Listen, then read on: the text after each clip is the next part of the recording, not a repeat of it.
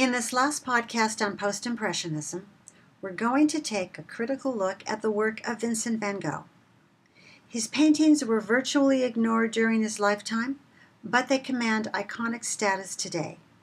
As for Van Gogh, he's become the poster boy for the mad genius. Let's see what I can do to put the art and the artist into perspective. If you recognize those lyrics, then you have probably heard the popular 1971 song Starry, Starry Night. I wonder what Vincent van Gogh would say if he knew that he was the subject of music and film, that his works would sell for millions of dollars and hang in museums all over the world, including one dedicated to him in Amsterdam. What would he think about reproductions of Starry Night on everything from umbrellas to coffee mugs to tote bags to flip flops? For an artist who sold only a single painting during his life, would he be overwhelmed by the score of scholarly articles and books analyzing his work? And that's just the art historians. Physicians and psychiatrists are still weighing in on Van Gogh's mental health. Even astronomers have published on the veracity and rationale for this painting's content. Are we talking about the man or his work?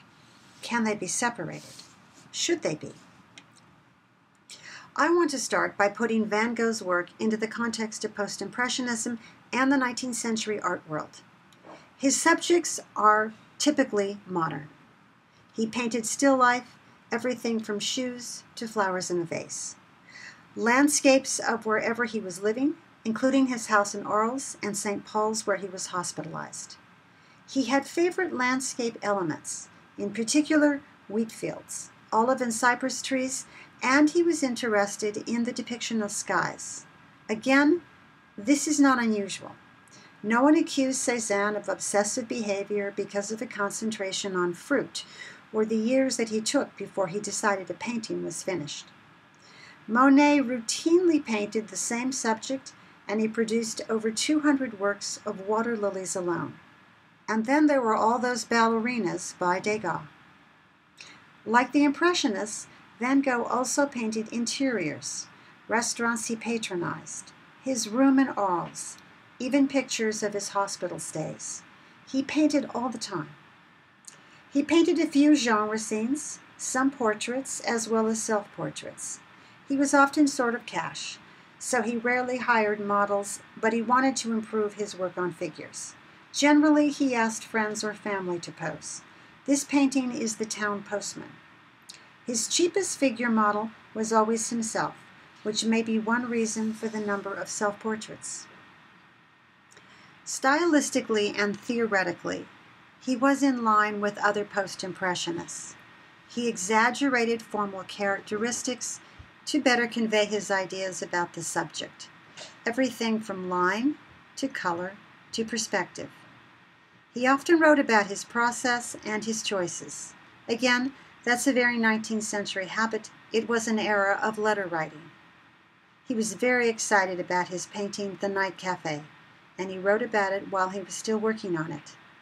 He used strong dark outlines, bright, highly saturated colors, and a skewed perspective to convey his ideas about cafes and bars and the people who frequented them. Yellow was a favorite at this time.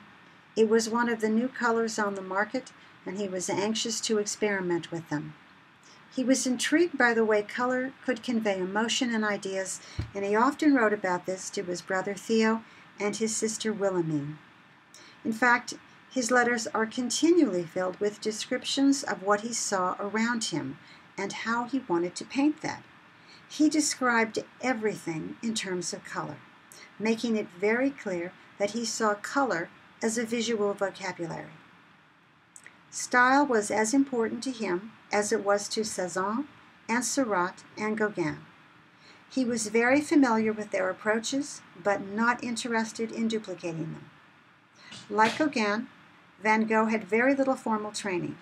Much of what he learned about painting, he learned on his own, working from prints that he owned. These are early paintings, and you might not have recognized them as his work because they are very different stylistically. Van Gogh learned by doing, by experimenting. He made a series of paintings based on Millet's The Sower. changing the angle of the figure in the tree with different color combinations and perspective ranges and painting techniques. By 1888, after exploring a variety of avant garde painting techniques, Van Gogh settled on a style that is characterized by what I would call a signature brushstroke. Regardless of color, and his works range from intensely hued to pastel, it was his brushwork that distinguished his work from that of other post Impressionists. Let's use this version of the sower to work through those ideas. The subject is mundane, a farmer walking through the field at sunset. The interpretation of a sower had a long European history, however, with biblical references, and a 19th century viewer would know those associations of regeneration, hope, nature, and a trust in God. Van Gogh built on that, but as he wrote to Theo, he wanted to paint a masterpiece that would be a symbolic language in color alone. The painting is divided into discrete areas that are identified by color and form. A low horizon literally divides the scene into two sections. The top dominated by that new and intense yellow, the bottom overlaid with thick blue strokes of paint. A jutting triangular clearing in the lower field directs the eye back to a vertical stand of wheat over which floats a blazing setting sun that sits squarely in the middle of the canvas, with rays so pronounced that they obliterate the sky and transform it into a mass of pulsing yellow and gold. On the far side, small patches of that same blue suggest a farmhouse and a distant village. Much like a classical Italian landscape, those tiny blue patches act as framing devices, but in a very post Impressionist way, and with a nod towards Cezanne, that blue connects the top and bottom registers of the painting. Counteracting the vertical and horizontal sectioning of the painting, Van Gogh positioned the sower as a diagonal figure, arms swinging and striding through the field. Painted in the same colors, with the same heavy, purposeful brushstrokes, the sower is structurally, aesthetically, visually, and philosophically united with nature. Van Gogh's brushstrokes have been the topic of a lot of discussion. They have been described as anxious, tense, exuberant, and angry, although I prefer to describe them as obvious, regular, conscious, and rhythmic, with the ability to convey a range of meaning that can also include the lyrical and tranquil, much like these landscapes do, a sensation that is heightened by the emphasis on curving lines and color. Heavily loaded with paint, the brushstrokes bring a materiality and texture to the surface of the canvas. They convey shape, form, depth, weight, and movement, but also emotion and a sensitivity to the subject. As an artist friend of mine commented years ago, the man knew how to move paint. Scholars and critics frequently describe his paintings as having a pulsing sensation, and that is the sense of movement that he achieved. That's harder to see in a slide, but impossible to miss looking at the actual work because then you can see the texture, the ridges, the sensuous physicality of the paint. This is another of his many wheatfield paintings, and the side details should help you understand how he used color and brushstrokes to build up the layers of paint, swirling different complementary and contrasting colors to create forms and shapes. The structure and direction of the brushstrokes move the eye both through and across the canvas. Details are eliminated. They really don't matter anymore because the painting recreates the subject as Van Gogh conceptualized it and intended the viewer to experience it. Once established, Van Gogh adapted his signature brushstroke and approach to color to whatever subject he painted, from one of his self portraits to sunflowers or irises. Consequently, there is remarkable stylistic cohesion to his work from the last four years and that is when he was the most prolific. His interest in using color to convey emotion remained a key feature, and his technical expertise developed dramatically, in part because he painted constantly and was his own ruthless critic in his efforts to be successful. He was familiar with both the aesthetic issues of late 19th century avant garde art as well as the practical considerations how to establish a reputation, make contacts, get work shown, attract criticism. His family had business ties to the buying and selling of art.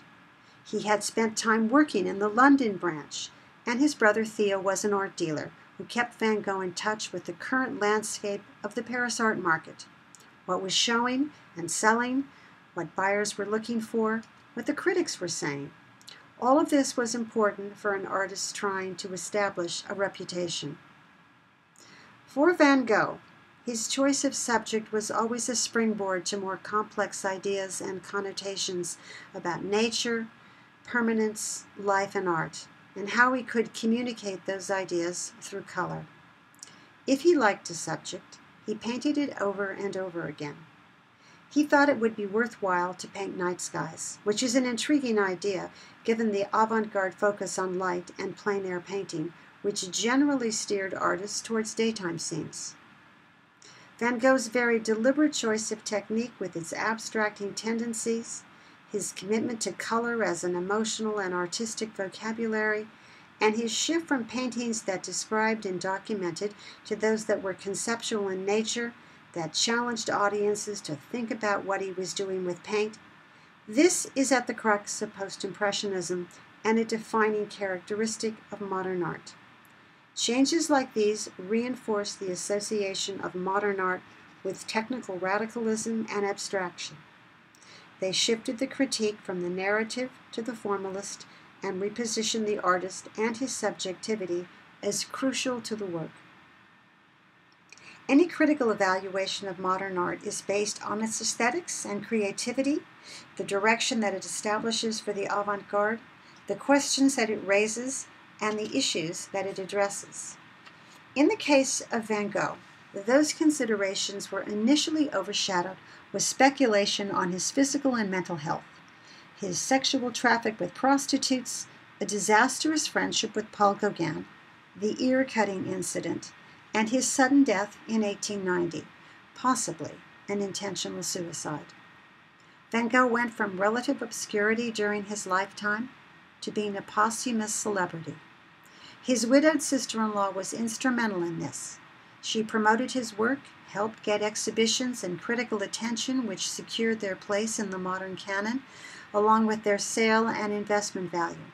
Prices for Van Gogh's paintings have never declined. Scholarly critique circulates through journal articles, university press publications, and conference papers, and that means a small, somewhat elitist audience. The 20th century public perception of Van Gogh was dramatically shaped by popular culture. In 1934, Irving Stone published Lust for Life as a biographical novel, and the book became a critical success and a multi-million dollar seller. Stone based his book on Vincent van Gogh's letters and his own interpretation of the artist's life and work despite no art historical training. The popularity of the novel expanded into the 1956 film featuring Kirk Douglas, whose physical similarity to the artist reinforced a storyline that depicted Van Gogh as a tortured genius, a madman, whose ravings and drunkenness resulted in one remarkable painting after another. Alternating between emotional rages, drunken sprees, and feverish painting sessions, the film closed with the artist putting the finishing touches on one of his Wheatfield paintings, and fades to crows circling in the sky and the crack of a gunshot, leaving audiences to believe that Van Gogh spent the day painting plein air finished wheat fields as a virtual trumpet call to his impending death, and then promptly shot himself. That makes for dramatic entertainment, but plays fast and loose with historical accuracy and hardly does justice to his talent, his technique, or the gravity with which he approached his work despite years without critical acclaim. Had he been a scientist working on a new theory, we would describe that single mindedness and dedication as intellectual determination rather than paranoid behavior. Nevertheless, the popular perception persists of Van Gogh as a troubled, suicidal artist and his works as a direct projection of mental instability. Postmodern theories and methodologies have since generated different questions and priorities about art and art makers. And many art historians have written about Van Gogh's work and art more critically in an effort to debunk the various myths and to focus on the work in its historical context. The medical community has weighed in as well. There is no agreement today on a diagnosis, but more consensus around bipolarism or acute intermittent porphyria, both of which are now managed with medication. Associating creativity and individuality in artistic expression with madness, violence, and repressed sexual energy creates a false paradigm of what constitutes the artist and marginalizes anyone who does not fit the stereotype. And that includes women and non Western artists, people working in different kinds of mediums and practices, or with different goals for their work. From the existing letters and historical documentation, there is little doubt that Van Gogh struggled with physical and emotional issues, with disappointments and setbacks, both personally and professionally. It is also clear, however, that like other avant garde painters, he valued creativity and experimentation, intellectual and subjective expression, and he understood the effort and dedication that was necessary to achieve excellence.